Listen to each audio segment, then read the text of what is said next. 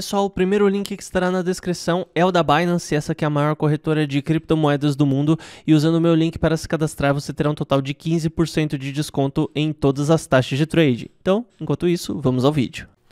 Certo, é, vamos ler a pergunta aqui do Gabriel Soares, né? Na, na verdade, ele fez um, um comentário a respeito do que o Tony Weiss falou lá no Crypto Minds do Rodrigo Miranda, né? Tony Weiss disse que o Bitcoin é o único descentralizado, enquanto as altcoins disse que são shitcoins e DeFi NFTs são pirâmides. o que, que, você acha a respeito disso, Andressa? Cara, eu a, concordo parcialmente só, tá? Eu acho que alguns NFTs e alguns DeFi podem ser pirâmides sim, porque o, o que não não pirâmide no sentido é, literal da palavra, mas assim, tem não tem fundamentos, não tem por que aquilo ali está funcionando, a não ser pelo fato de estar tá entrando mais dinheiro, né? Então, alguns projetos, sim, de fato, podem ser, sim, a altcoins são shitcoins. Eu acho que não, eu acho que há, muitas altcoins são shitcoins, inclusive a maioria são shitcoins.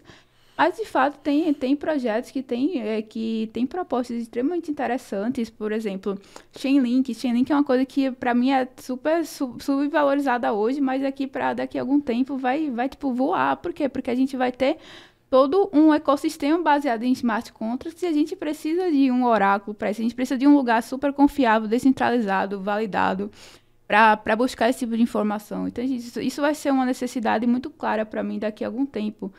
Então, assim, algumas altcoins de fato são shitcoins, mas outras são, são de fato projetos que resolvem problemas no, que, no, do nosso dia a dia, da nossa vida, e que vão resolver problemas que a gente vai ter daqui a algum tempo. O que, que é oráculo? A Oráculo é uma fonte de informação, né? Então, por exemplo, eu tenho um smart contract que precisa saber de uma informação específica.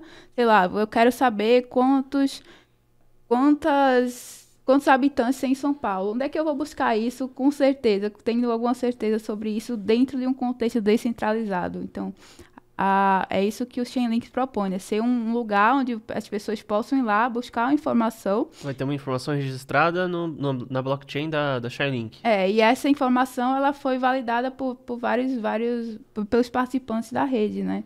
E ela existe ali de forma descentralizada, não, não tem como, assim como as criptomoedas não tem como simplesmente desligar aquela informação.